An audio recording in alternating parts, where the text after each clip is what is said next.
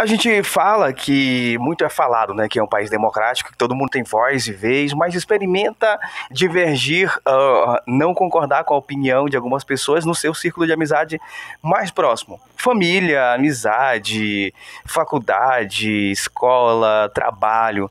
Se tem um grupo de pessoas que pensam de alguma forma, você é praticamente obrigado a pensar daquela forma.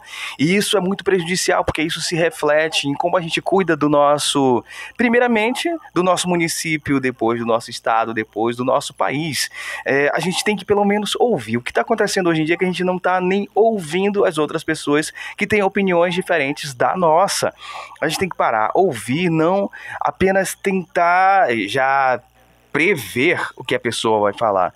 Então a gente é, sempre exercitar esse nosso lado democrático é muito bom, porque a gente vai saber lidar com diversas formas de pessoas, de pensamentos. É, isso é bom tanto na escola, no trabalho, na, na sua cidade ali, na sua vizinhança. A gente tem, tem pessoas diferentes que a gente tem que conviver.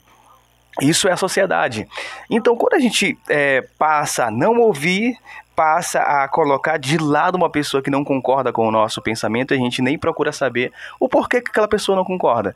E o que, que a gente tem a aprender com essa opinião.